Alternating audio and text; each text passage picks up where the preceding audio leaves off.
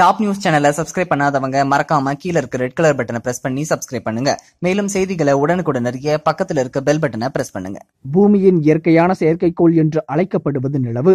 நிலவின் மெய்யான அழகில் சற்று மூழ்கி திளைக்க தயாராகுங்கள். ஏனென்றால் வரும் ஜனவரி முப்பத்தி ஒன்றாம் தேதி மிகவும் சிறப்பானதொரு தினமாகும். அன்று இரவு சுமார் நூற்றி ஐம்பத்தி ஓரு வருடங்களுக்கு பிறகு நடக்கும் ஒரு அரிய விண்வெளி நிகழ்வை நாம் நேரடியாக காணப்போகிறோம்.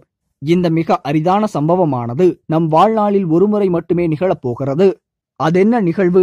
அதை நம்மால் காண முடியுமா? வாருங்கள் அதை பற்றி நாம் இந்த பதிவில் காண்போம். சந்திர கிரகணம் என்பது பூமி சந்திரன் மற்றும் சூரியன் ஆகிய மூன்று விண்வெளி பொருட்களும் சரியாக நேர்கோட்டில் சந்திக்கும் போது ஏற்படுகின்ற ஒரு நிகழ்வாகும்.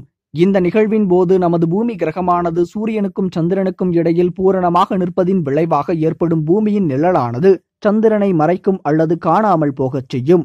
வருகின்ற ஜனவரி முப்பத்தி ஒன்றாம் தேதியன்று நிகழும் சந்திர கிரகணத்தின் போது நாம் ஒரு முழுமையான சந்திர கிரகணத்தை காண முடியும். அன்றைய சிறப்பு அது மட்டுமல்ல அந்த இரவில் சந்திரன் மூன்று வெவ்வேறு வடிவங்களை வெளிப்படுத்தும்.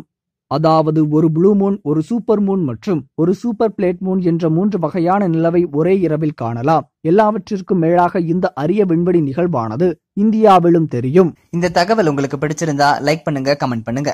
மறக்காம கீழ இருக்க ரெட் கலர் சப்ஸ்கிரைப் பட்டனை பிரஸ் பண்ணி டாப் நியூஸ் சேனலுக்கு சப்ஸ்கிரைப் பண்ணுங்க. நன்றி வணக்கம்.